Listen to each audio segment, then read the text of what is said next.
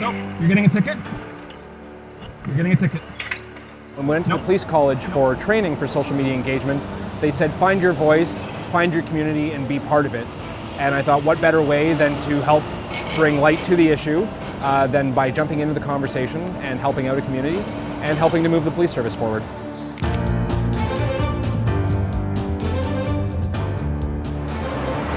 Is it for politics? It's good. Car has an airbag. I don't. I, I don't know the number of vehicles that come into the city, but I would say that as, as we've experienced together uh, in just the short time, we in about 15, 20 minutes, we had six vehicles encroach bike lanes that we wrote tickets for. I'd say it is one of the number one uh, public safety concerns facing Toronto today.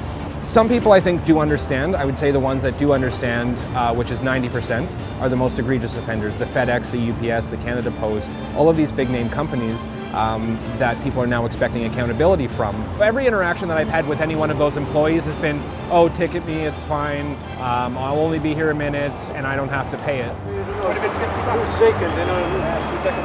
I am in the position to hold uh, public companies accountable.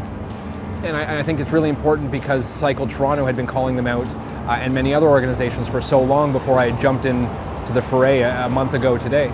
So I'm just trying to give the community voice and, and it's time that if people expect everybody to be accountable, then we're all going to be held accountable. So the biggest thing for me is not so much about the tickets or anything, it's a public safety message.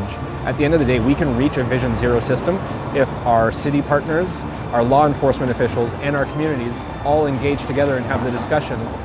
Now let's look at changing things. Let's look at adding more enforcement and more, more presence um, because we really do need to move the way forward and being part of the community is that, is that, that it's the glue that holds community together is relationships and that's what we're working on.